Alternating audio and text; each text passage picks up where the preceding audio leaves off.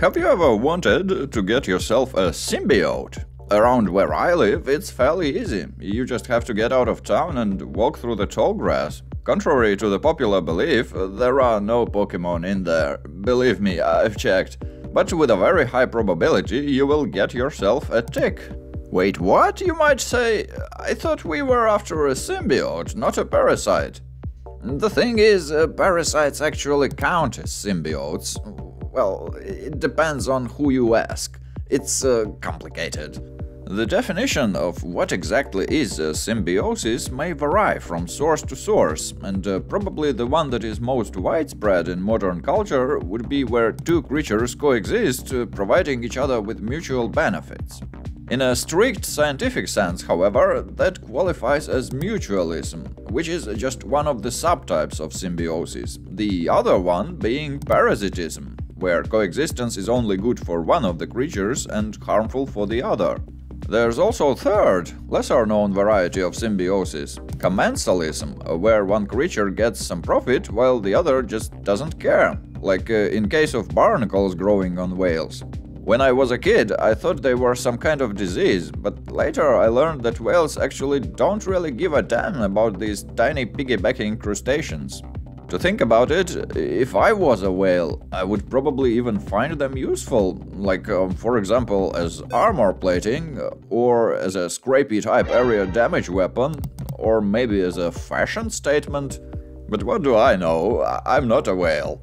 Anyway, if we put these interactions into some sort of grid, we might spot three more interaction varieties, which rarely get mentioned among examples of symbiosis, even despite they technically qualify on the coexistence part.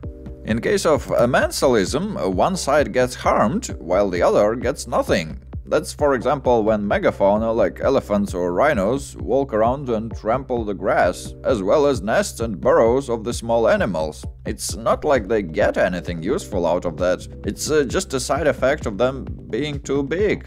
The best possible example of amensalism known to me are us humans versus, uh, well, against basically all the other species and the global ecosystem as a whole given the pollution, global warming, and other stuff, you know. Next option on the grid would be neutralism, the coexistence of animals that do not impact each other's lives in any significant way. And uh, while connections between species in nature are many and complex, a lot of animals do just that, living alongside the others with little to non interaction with them. Then uh, finally, there is harm-harm behavior, which is probably best described as competition, like uh, for example when carnivores of different species compete for the prey. Okay, you might say, all that sciencey taxonomy is fun and all, but uh, I clicked on this video because I want a symbiote, and a good one at that, a mutualistic symbiote please, like uh, Venom from Marvel. Well, then what if I say that you already own it? And not just one, but a whole bunch of them of many different species. I'm speaking about human microbiome, the ecosystem of bacteria, archaea, fungi, viruses, and other microorganisms of over a thousand different species that uh, live on the surfaces of our bodies as well as inside of us, that is, uh, mostly in our guts. There are different estimates of uh, how many of these little guys we have exactly, and uh, this will also vary depending on a person. But uh, most sources uh, seem to agree that microbiome symbiotes generally outnumber our human organism cells. To think about it, uh, if we had some sort of democracy on a cellular level, the organism would have to do what microbiome decides, not what we want. While uh, every member of our microbiome surely counts as symbiote, uh, not all of them are mutualistic. A lot are actually commensal and uh, don't do anything bad or good, they just live on us, or in us, like barnacles on a whale. Quite a lot of bacteria are very helpful though, and a healthy microbiome is crucial for our well-being in general. There are many carbohydrate types that uh, our organism cannot process, but uh, the gut microbiome can. Fiber, starches, uh, certain types of sugars, microbes split these indigestible molecules into smaller, manageable parts that our gut can absorb and use. Gut bacteria also synthesize vitamin K and most of the B group vitamins for us. Besides that, gut microbiome also plays several important roles in our immune system. First of all, bacteria make up a sort of defensive barrier between the food mass and the intestinal cells. By colonizing all the available space in the gut, our microbiome leaves no resources for the harmful bacteria to grow, and uh, outcompetes them if they happen to arise. Then, uh, many bacteria release cytokines, signal proteins that either inhibit harmful bacteria directly or inform the nearby immune cell police stations that there's some trouble going on.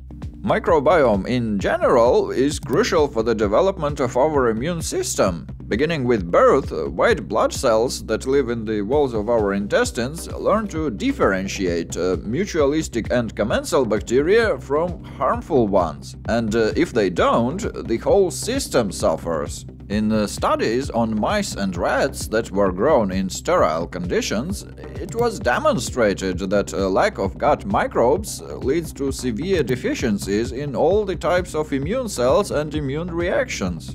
In humans, disturbances of the gut microbiome have been linked to the various inflammatory and oncological diseases.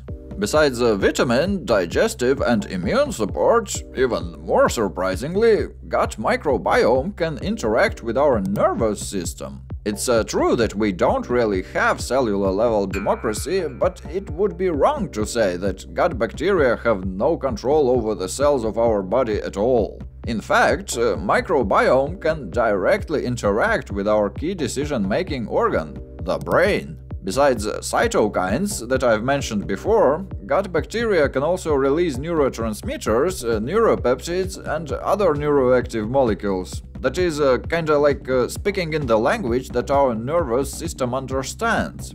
Scientific name for the neural circuits involved in it is gut-brain axis, and uh, it actually has an enormous impact on how we feel, think, and act. The nervous system of the gut itself is sometimes called the second brain, and uh, for a good reason. It uh, can actually function autonomously after being completely separated from the brain, and uh, the gut microbes, no doubt, play an important role here. Out of our main primary brain, gut bacteria are known to influence prefrontal cortex, hippocampus and amygdala areas, which are responsible for emotions and motivation. Certain changes in the gut microbiome were found in people who have anxiety, autism, depression, schizophrenia, Alzheimer, and uh, many other disorders of the nervous system.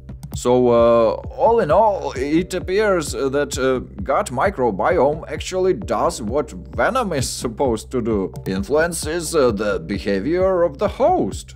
But, uh, hey, you might say, that's not exactly the fun part of it. The fun part are superpowers, and uh, while improved digestion and immunity are of course nice, uh, super strength would be so much cooler. Well, uh, what if I told you that we actually already have the strength-providing mutualistic symbiotes as well, and uh, not just one, but trillions of them.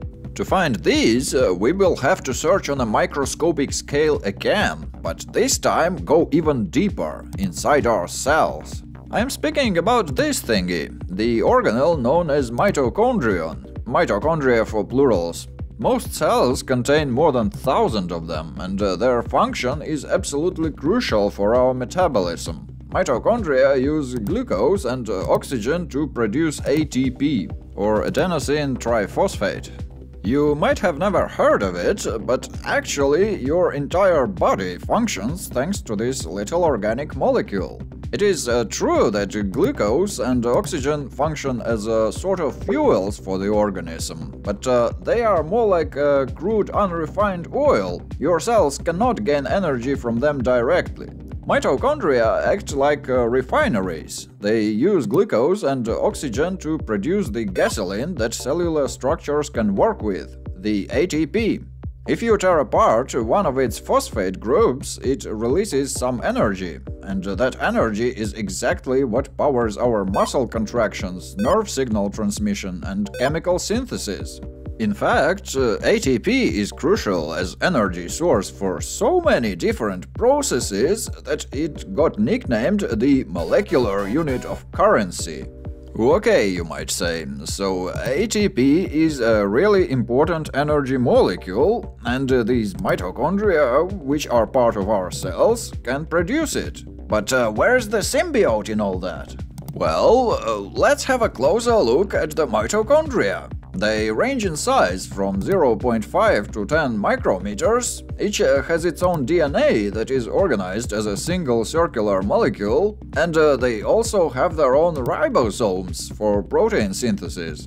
Where else have we seen all these features? Well, they all pretty much describe not just mitochondria, but also bacteria. That's right, mitochondria are actually symbiotic bacteria that live inside our cells.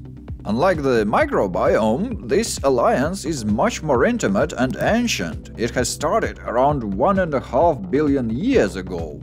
Initially, mitochondria might have been some sort of intracellular parasites that decided to switch from stealing to cooperating, or maybe they were prey that our ancestors caught but uh, for some reason decided not to eat. Anyway, mitochondria ended up forming a bond so strong that nowadays almost every cell with a nucleus in almost every species of animals, fungi and plants has these little power factories. Plants actually went a step further down that path. Not only do they have mitochondria, but also chloroplasts. The very organelles with which they do the photosynthesis are actually also ancient endosymbionts, presumably from cyanobacteria lineage. Besides uh, satisfying the energy needs of our cells, mitochondria also take part in other crucial processes like uh, calcium metabolism, uh, fatty acid production, and uh, regulation of the cell cycle. It is uh, safe to say that uh, life as we know it on the planet Earth wouldn't be possible without the symbiosis of eukaryote cells and mitochondria. While uh, mitochondria and uh, gut microbiome have uh, certain traits in common with venom-type symbiotes, there is still one crucial difference. They belong to the microscopic weight class, while uh, Marvel symbiotes can be very well visible with our bare eyes. And uh, well, we actually have that kind of symbiotes in real life as well. Those would be animals that we domesticated, like cats and dogs. Actually, if we look for mutualism examples, maybe it's just cats and dogs. Things uh, get kinda messy if we look at the other species like uh, cattle, chicken or horses.